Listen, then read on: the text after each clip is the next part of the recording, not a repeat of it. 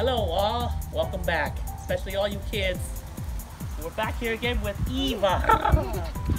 Are you happy, Eva? Are you excited? Oh, you're too excited. Okay, look, look. Oh, you're way excited. Okay, are you excited to see your new bike?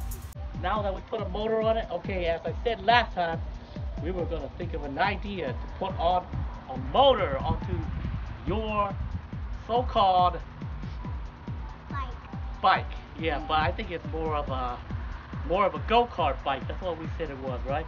Because it's a go-kart with pedal, like a bike, but it's not a bike, right? So let's take a look and see what kind of idea we. Last time we said we had an idea, but I did have a very good idea, which we put on. So let's look at the bike. Okay, right there it is. Okay, so Mommy, not the, the what. I have done is I had an old treadmill that I threw away, but I kept the control and kept the motors, the motor from it. So if you look right here, this is the actual control for the treadmill. You have the on button, speed, mode, and all that sort that calculates, you know, cal calorie, time, speed, and all that sort. That's control. But we took off the old treadmill. And if you look right here, this is the motor that came out of the treadmill. It is uh, it is a uh, not a it's an AC motor, not a DC motor. So with that being said, basically I had to use an inverter, a 750 watt inverter, along with a 12 volt battery. That'll convert the AC the AC to DC, uh, the the uh, DC to AC to DC or or DC to AC. There you go. Um, but in here is the control box I made out of aluminum.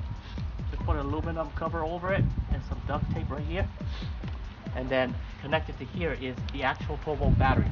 Now basically I took three pieces of plywood. There's one piece here, one piece here, one piece here.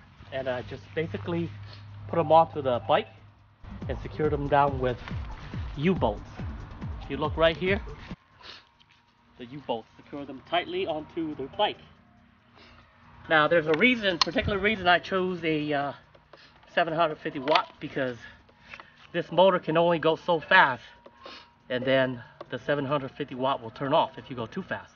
For a little five-year-old, you obviously don't want to go let them go too fast. So when it reaches the maximum that it can push the motor, it'll stop. So just in case the five-year-old like Eva, of course, pushes it too fast, it'll just stop. So this thing can actually go pretty fast with no weight load on it. But when you put a weight load on it, and if you go too fast, it'll stop. That's the emergency. And up here is also another uh, emergency key. Is of course the treadmill key, and it's attached to the person who rides it. So if the person falls off, it'll pull the kill switch, and the bike will stop. So here we are. We're gonna go ahead and turn on and give it a test. First the inverter. Now the bike. And we can test to see how fast it can actually go. Daddy! How fast it can actually go without any weight load on it. So I'm going to lift it up real fast. I'm gonna be Like I told you last time, it is one wheel drive. We're going to turn it on. There it goes. That's one. The treadmill can go up to 10. So let's see if this will go the.